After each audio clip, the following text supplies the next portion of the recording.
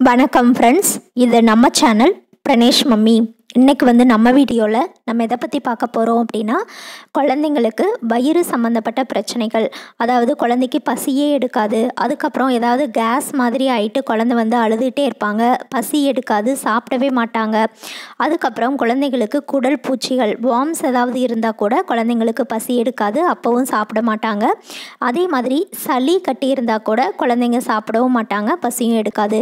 இந்த மாதிரி எல்லா பிரச்சனைகளுக்கும் தீர்வாக இந்த ஹோம்மேட் கிரேப் வாட்டர் வந்து எப்படி ரெடி பண்ணுறதுன்னு பார்க்கலாம். நீங்கள் வந்து இதை மட்டும் கொடுத்தீங்க அப்படின்னா போதும். இந்த வயிறு சம்மந்தப்பட்ட பிரச்சனைகள் எல்லாமே வந்து ஈஸியாக சரியாயிரும். இது எப்படி செய்கிறதுன்னு பார்க்குறதுக்கு முன்னாடி இப்போ தான் நீங்கள் ஃபஸ்ட் டைம் நம்ம சேனல் பார்க்குறீங்க அப்படின்னா மறக்காமல் நம்ம சேனலை சப்ஸ்கிரைப் பண்ணிக்கோங்க.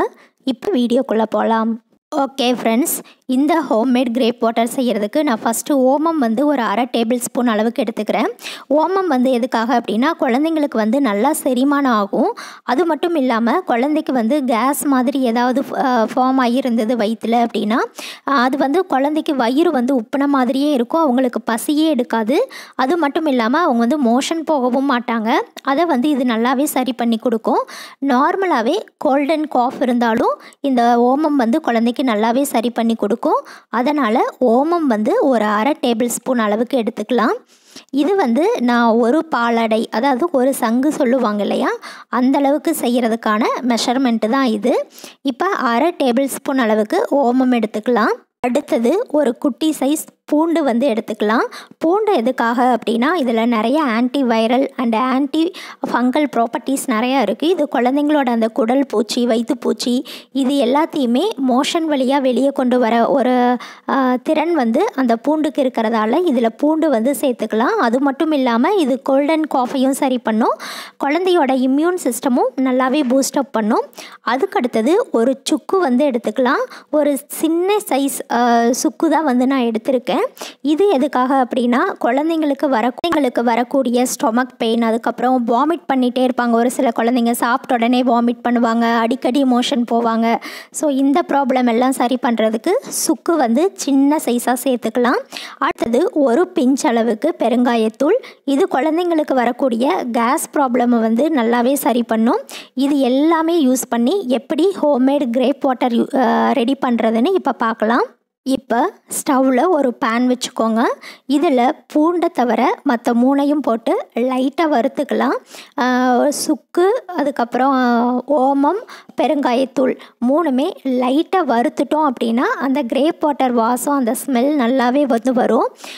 இதில் வந்து நம்ம ரொம்ப மிதமான தீயில் வறுக்கணும். அப்படி இல்லை அப்படின்னா ஸ்டவ் ஆஃப் பண்ணிவிட்டு அந்த பேனோட சூட்லேயே லைட்டாக வறுத்துக்கோங்க. இப்போது நான் இந்த ஓமம் பூண்டு பெருங்காயம் சுக்கு இது எல்லாத்தையுமே ஒரு மிக்ஸி ஜாருக்கு மாற்றிட்டு அரைச்சிக்கிறேன். நீங்கள் வந்து இந்த ரசத்துக்கு இடிப்போம் இல்லையா உரல் அது இருந்தால் கூட நல்லா பொடி பண்ணி எடுத்துக்கோங்க. இப்போ ஸ்டவ்வில் ஒரு சாஸ்பேன் வச்சுக்கோங்க. இதில் இந்த மாதிரி குட்டி டம்ளரில் நான் அரை டம்ளர் அளவுக்கு தண்ணி சேர்த்துக்கிறேன். இந்த தண்ணி லைட்டாக சூடான உடனே நம்ம அரைச்சி வச்சுருக்கோம் இல்லையா? சுக்கு பூண்டு அந்த பொடி வந்து இது கூட சேர்த்துக்கலாம்.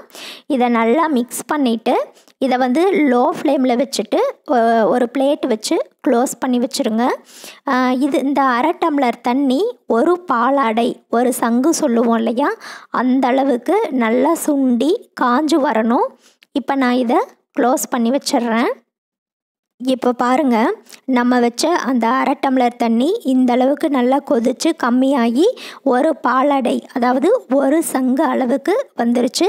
நம்மளோட ஹோம்மேட் கிரேப் வாட்டர் ரெடி ஆயிடுச்சு இதை வந்து நம்ம ஒரு ஃபில்டர் வச்சோ இல்லை நல்ல ஒரு காட்டன் கிளாத் வச்சோ நல்லா ஃபில்டர் பண்ணி எடுத்துக்கலாம். இப்போது இந்த கிரேப் வாட்டரை நான் நல்லா ஃபில்டர் பண்ணி எடுத்துக்கிட்டேன்.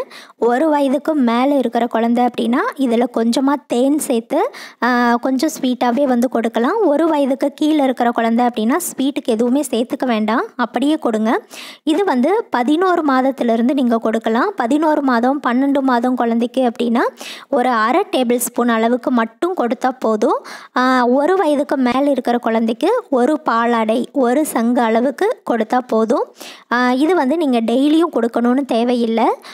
வாரத்தில் ஒரு நாள் அந்த மாதிரி கொடுத்தா போதும். இல்லை குழந்தை ஏதாவது ஸ்டொமக் பெயினால் அழுகிறாங்க கொஞ்சம் கேஸ் ஃபார்ம் ஆகிருக்கிற மாதிரி வயிறு வந்து உப்பியே இருக்குது. அந்த டைமில் வந்து இது அரை டேபிள் ஸ்பூனோ ஒரு டேபிள் ஸ்பூனோ நீங்கள் வந்து நல்லா செய்து கொடுக்கலாம். ஓகே ஃப்ரெண்ட்ஸ் உங்களுக்கு இந்த வீடியோ பிடிச்சிருந்தது அப்படின்னா மறக்காமல் நம்ம சேனலை சப்ஸ்கிரைப் பண்ணுங்கள் லைக் பண்ணுங்கள் அதே மாதிரி உங்களோட கருத்துக்களையும் கமெண்ட்டில் சொல்லுங்கள் தேங்க்யூ ஃப்ரெண்ட்ஸ்